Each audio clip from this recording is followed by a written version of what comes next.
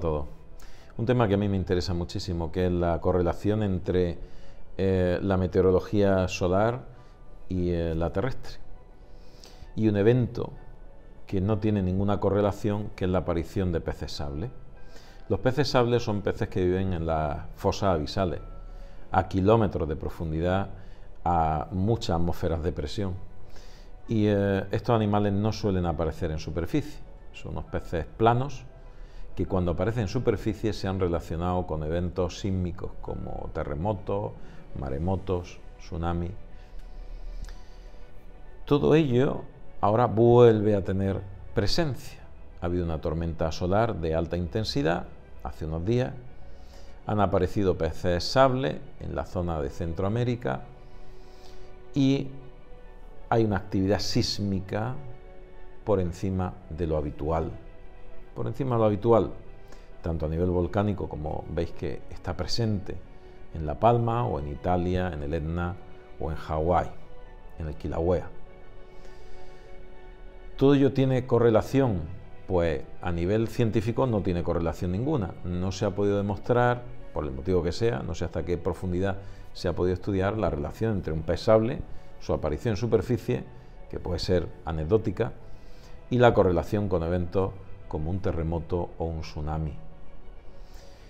Pero curiosamente, eh, yo que pienso que las cosas no tienen una casualidad, sino que hay una causalidad, el que no haya habido una correlación estadísticamente defendible no quiere decir que haya una correlación real, importante y por lo menos que nos ponga en alerta.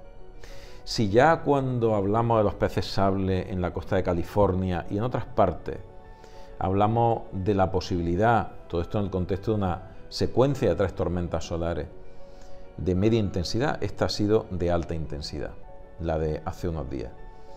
Hablamos de que debíamos de ponernos en alerta, incluso yo señalé diferentes ubicaciones, no porque yo sea ningún pitoniso, pero sí por sentido común, eh, el hecho de que la falla de San Andrés, la zona de Yellowstone, la zona de La Palma, todo el cinturón de fuego, pues se reactivó. Hubo más de veintitantos volcanes, me parece, que aumentaron su actividad y muchos procesos sísmicos.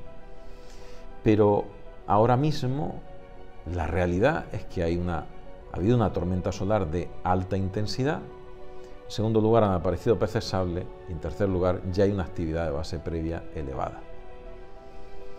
Como mínimo, deberíamos de plantearnos, de pensar que puede haber algún fenómeno geológico inesperado, esperemos que no catastrófico. Pero es que ya ha pasado, ya ha sucedido. Y si la correlación se dio y realmente lo ha habido, lo razonable es que se vuelva a reproducir. ¿Dónde y cómo? Pues es muy difícil de saber. Desde luego no se ha visto que la aparición de peces sable en una zona determinada esté correlacionado en esa zona exactamente con precisión con el evento sísmico del tipo que sea. Sí sucedió en Japón justo antes del tsunami, donde sí tienen una tradición de analizar la aparición de este tipo de animales de las fosas abisales como una señal negativa en cuanto a la posibilidad de terremotos y de tsunamis.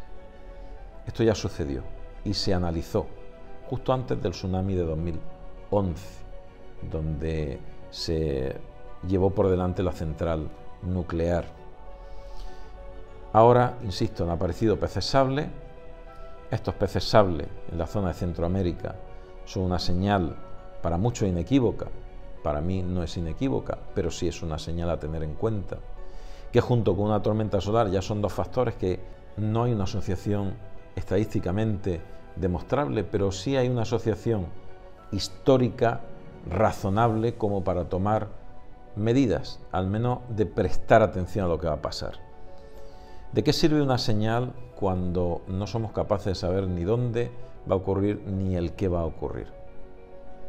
Pues nos sirve solamente para aprender, para tener un histórico, de lo que puede significar las cosas. Vivimos una etapa donde hay mucha desinformación, pero también hay una capacidad para que la información se multiplique a órdenes de magnitud. Antes si aparecía un pesable en Japón, lo sabían los japoneses que vivían en el pueblo donde se había encontrado el, pesable. Hoy le hace una foto, lo sube a internet y lo ve todo el mundo. Con lo cual, sí somos capaces de aglutinar una cantidad de información que nos pueda permitir hacer razonamientos que antes serían imposibles. Los peces sables los tenemos, la tormenta solar también, y una actividad inusual a nivel geológico en la mayor parte del planeta. ¿Qué va a pasar? No lo sabemos. ¿Es posible que no pase nada? Sí, sí es posible. Pero también es posible que pasen cosas según los eventos históricos recientes. Pero que haya resultado de interés. Los peces sables son un hecho, a mi entender, para tener en consideración, sobre todo para tener los ojos bien abiertos. mando un fuerte abrazo y os veo en el próximo vídeo.